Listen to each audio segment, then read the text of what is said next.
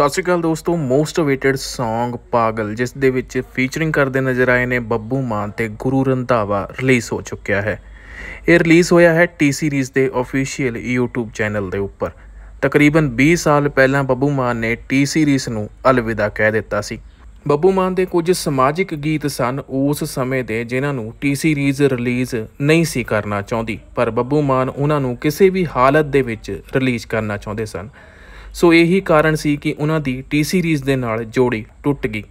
ਪੰਜਾਬ ਦੀ ਸਭ ਤੋਂ ਵੱਡੀ ਐਲਬਮ ਪਿਆਸ ਵੀ ਟੀ ਸੀਰੀਜ਼ ਦੇ ਉੱਪਰ ਹੀ ਰਿਲੀਜ਼ ਕੀਤੀ ਗਈ ਸੀ ਤੇ ਉਹੀ ਇਹਨਾਂ ਦਾ ਆਖਰੀ ਕੰਮ ਸੀ ਜੋ ਇਹਨਾਂ ਨੇ ਟੀ ਸੀਰੀਜ਼ ਦੇ ਨਾਲ ਕੀਤਾ ਸੀ।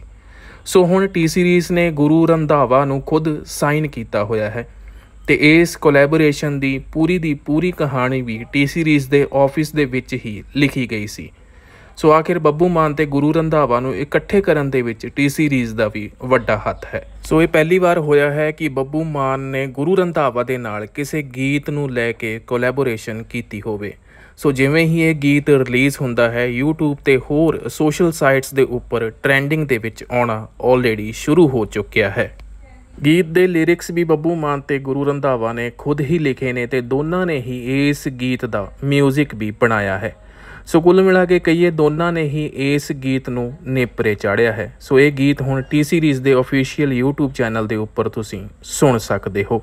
ਅੱਜ ਕੱਲ ਪੰਜਾਬੀ 뮤직 ਇੰਡਸਟਰੀ ਦੇ ਵਿੱਚ ਵੀ ਇੱਕ ਇਹ ਨਵਾਂ ਹੀ ਟ੍ਰੈਂਡ ਚੱਲ ਰਿਹਾ ਹੈ, ਜਿੱਥੇ ਪੁਰਾਣੇ ਗਾਇਕ ਨਵੇਂ ਗਾਇਕਾਂ ਦੇ ਨਾਲ ਕੋਲੈਬ ਕਰਕੇ ਗੀਤ ਰਿਲੀਜ਼ ਕਰ ਰਹੇ ਨੇ।